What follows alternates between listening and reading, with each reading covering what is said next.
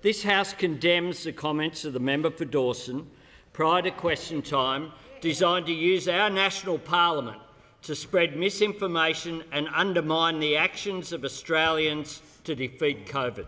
It's time we stop spreading fear and acknowledge some facts. Masks do not work. Fact, it has been proven that masks make no significant difference in stopping the spread of COVID-19. Lockdowns don't work. Fact, lockdowns don't destroy the virus, but they do destroy people's livelihoods and people's lives. Studies have shown they can even increase mortality rates. Domestic vaccine passports are a form of discrimination. Fact, we are all human beings. Nobody should be restricted from everyday life because of their medical choices, especially when vaccinated people can still catch and spread COVID-19. Our posturing politicians, many over there, the sensationalist media elite and the dictatorial medical bureaucrats need to recognise these facts and stop spreading fear.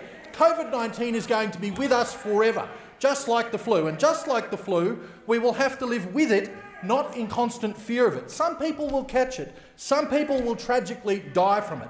That's inevitable, and we have to accept it.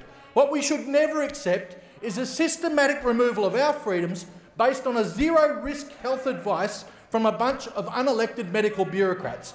Open society back up. Restore our freedoms. End this madness. This House condemns the comments of the member for Dawson prior to question time designed to use our national parliament to spread misinformation and undermine the actions of Australians to defeat COVID.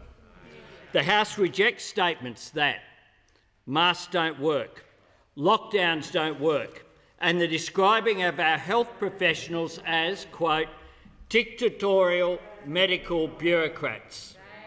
The House calls on all members to refrain from making ill-informed comments at a time when the pandemic represents a serious threat to the health of Australians. Is, is leave granted?